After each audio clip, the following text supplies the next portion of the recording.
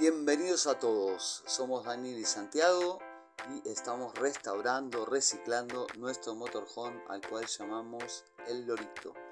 Si quieren regalarnos un mimo, quédense hasta el final y les contaremos un poco de nuestra historia, la historia del Lorito y cómo vamos con esos avances. Suscríbanse, allá vamos.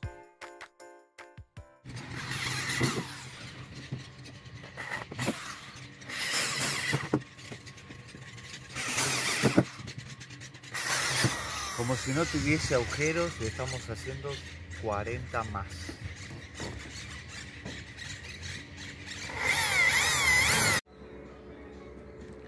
Bueno, ahí está Santi remachando sus primeros remaches. Tomando al frente, pero bueno. Mostrar la máquina para que parezca que lo estás haciendo. Ah, muy bien. y quiere que lo siga grabando. Y lo vamos a grabar otra vez. es un. En verdad es un experto remachador, máster. El maestro de la remachadora. Aprendí hace media hora, es mentira.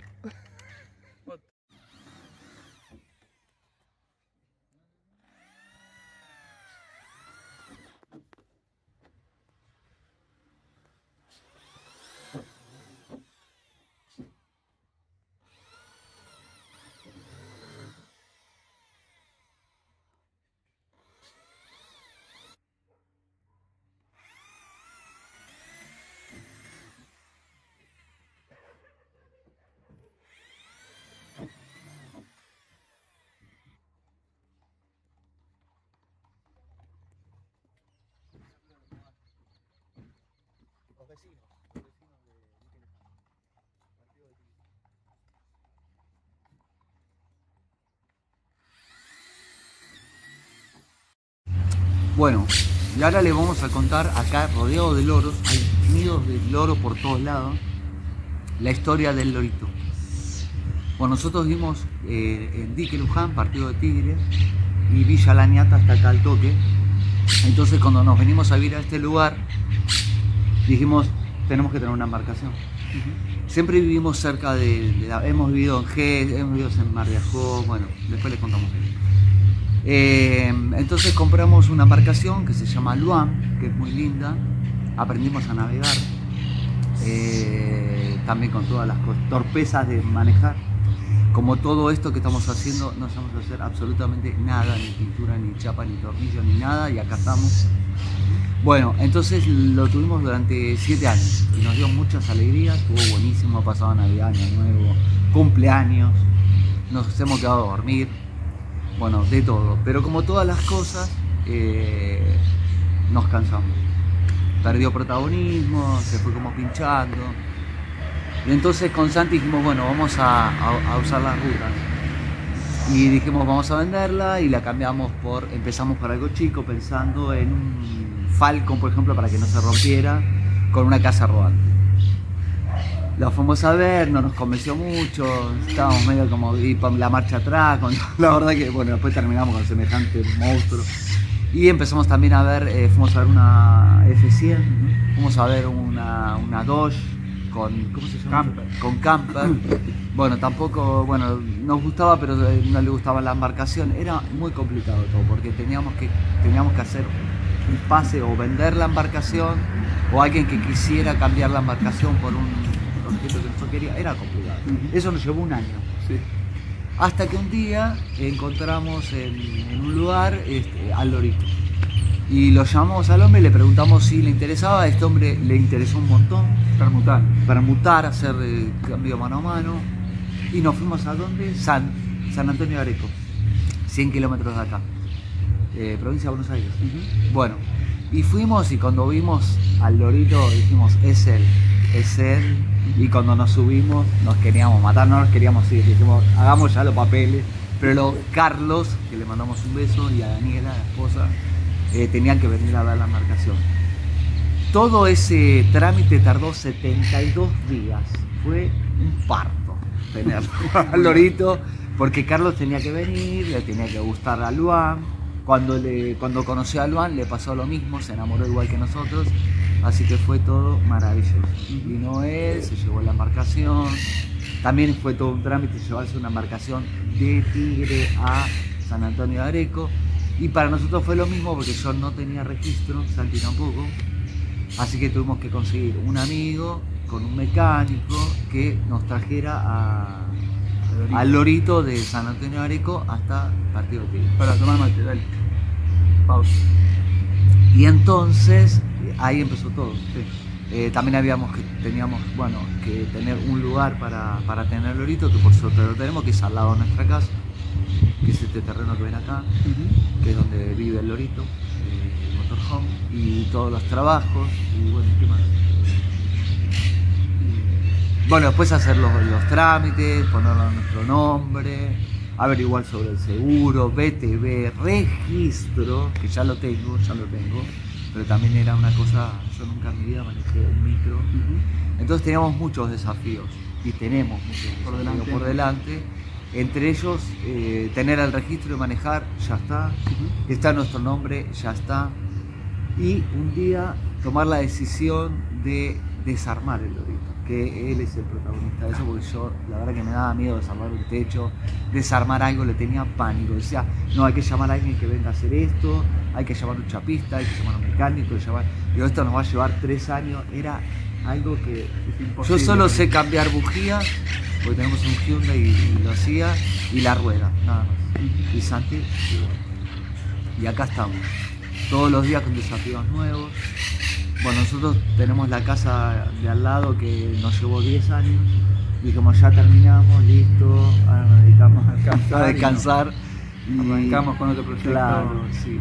Yo tengo 54 años, él tiene 42, estamos juntos hace 20 años y dijimos, bueno, listo. Y ahora cuando apareció el motorhome, volvimos a, a tener toda esa sensación de cuando empezamos con la casa. Y tenemos otra vez 17 años, otra vez somos jóvenes, otra vez estamos con miedo. Los mismos miedos que cuando hicimos la casa, porque nunca habíamos hecho una casa. Entusiasmo, alegría, o sea. Eh, no tener el dinero suficiente para hacer todo rápido, eh, no saber cómo hacerlo, bueno, todo eso estamos otra vez sintiéndolo y nos, nos pone muy felices. ¿Y qué más? No, eso, queríamos compartirlo con Sí. todos los que nos. Y tenemos más para contar, porque yo, bueno, soy joyero, él es maestro de una escuela Baldor. Eh, y cuando nos conocimos eh, también teníamos eh, una estanciera y yo trabajaba de enfermero, él de maestro, largamos todo y nos dedicamos a, pasear siete años, así que más o menos esto lo vivimos porque teníamos una estanciera que era nuestra casa rodante y nos íbamos a la costa toda la temporada a hacer artesanías, a vivir en carpa, de camping, en la camioneta, en casa rodante que alquilábamos. O sea, bueno, y después nos cansamos de todo eso que también duró siete años, Ajá. parece un ciclo de siete, ¿no? Sí. muy antroposófico. Entonces, eh, ahora cuando pasaron esos siete años, Santi un día me dijo, yo ya quiero ser maestro porque él no había ejercido, se recibió a los 21 años. Y yo había hecho 14 años de enfermería, fui jefe de enfermería, trabajé en una terapia intensiva, bueno, después les cuento bien, en el clínico Rius. Y yo ya no quería ser médico, quería ser joyero. Entonces decidimos volver a hacer un cambio, que era volver a este lugar cerca del agua. Entonces plan A era la costa, plan B era Maswich. Terminamos, fuimos a vivir a Mar de Ajó, bueno, no nos gustó mucho y volvimos acá. Y este era el plan B y este es nuestro lugar.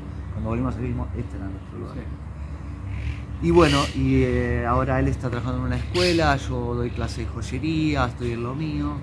Y sin querer, y sin querer, otra vez, pero esta vez pasaron, ¿cuántos años? 12, Sí, 13. 13 años. Ahí viene el rubio, que es un gato de la tía de Santiago, hola rubio. Y este, y al aparecer el motorhome, en el futuro, cuando pase el tiempo y, lo que corresponda, porque acá tenemos compromisos. Entonces, eh, vamos a volver a hacer lo que hacíamos con una estanciera, Entonces eso nos Más, tiene- más equipados. más, equi- preparados. más top, más top. Hippie, hippie, hippie con. No sé si se puede decir. Eh, y bueno, y eso es poco la historia, Un resumen. el resumen. Y bueno, después vamos a ir agregando fotos de cuando andábamos en la estanciera, hacíamos mucho Nueva Atlantis, Ujú. en el camping, que le mandamos un saludo a Hernán. a Hernán, que es el dueño del camping, si está mirando esto, se va a poner contento. Ahí armamos puestos de artesanía, hacíamos trenza. Uf, una historia. Uy, Ya bueno. iremos contando. Ya iremos contando por no que bueno, pero le damos un adelantito. Bueno, y bueno, y ahora estamos con el tema del techo. Y lo que sí eh, quiero aclarar y lo pensamos cuando decíamos con Santi de hacer este video, es de que lo copado es que sepan que no sabemos hacer nada. Eh, ni agarré, no sé agarrar, estoy aprendiendo a usar la moladora, la, Sí, sí, sí. nos compramos una máquina para lijar, Ah. que para nosotros como comprarnos una cosa que no sabemos qué es. Y estamos haciendo esto, así que si nosotros podemos, pueden.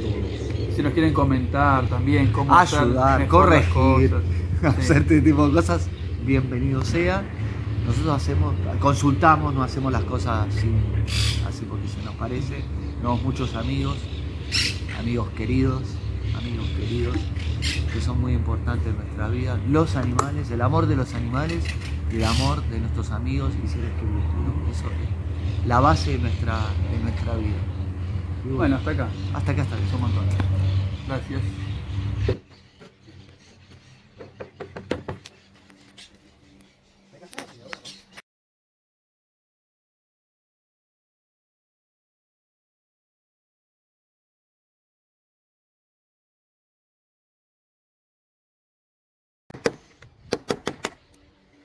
Bueno, estamos en la segunda etapa de la restauración del techo. Eh, ahora vamos a. Estoy sacando los tarugos. Después estamos en la segunda etapa de la restauración del techo. Ahora estoy sacando los tarugos y después vamos a, a fijar los pedazos de techo que están rotos y vamos a colocar membrana. No, vamos a colocar la fibra y después la membrana líquida. Así que bueno, acá estamos.